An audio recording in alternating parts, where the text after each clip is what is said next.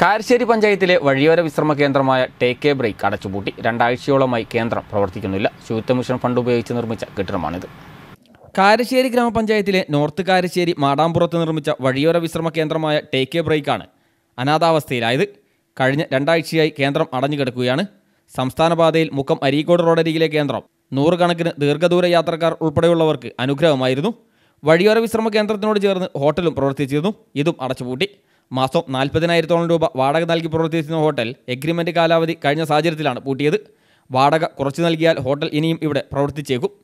സംസ്ഥാന സർക്കാരിന്റെ നൂറുദിന കർമ്മ പരിപാടിയിൽ ഉൾപ്പെടുത്തി സർക്കാരും സ്വച്ഛ് ഭാരത് മിഷനും തദ്ദേശ സ്ഥാപനങ്ങളും ചേർന്ന് എല്ലായിടത്തും ഇത്തരം വഴിയോര കേന്ദ്രങ്ങൾ നിർമ്മിക്കുന്നുണ്ട്.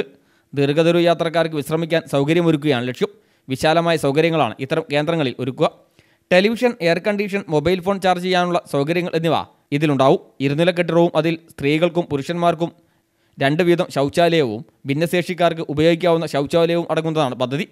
ഇരുനില കെട്ടിടത്തിൽ ഒരു നിലയെ ഇവിടെ പൂർത്തിയായിട്ടുള്ളൂവെങ്കിലും പ്രതിപക്ഷ നേതാവ് വി ഡി സതീശൻ ഉദ്ഘാടനം നിർവഹിച്ച ഈ കെട്ടിടത്തിലും സൗകര്യങ്ങളെല്ലാം ഉണ്ടായിരുന്നു. നാൽപ്പത്തിരണ്ട് ലക്ഷത്തി പത്തൊൻപതിനായിരം രൂപ ചിലവിലാണ് ഇത് നിർമ്മിച്ചത്.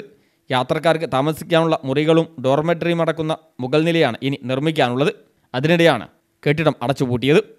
News bureau Mukkam.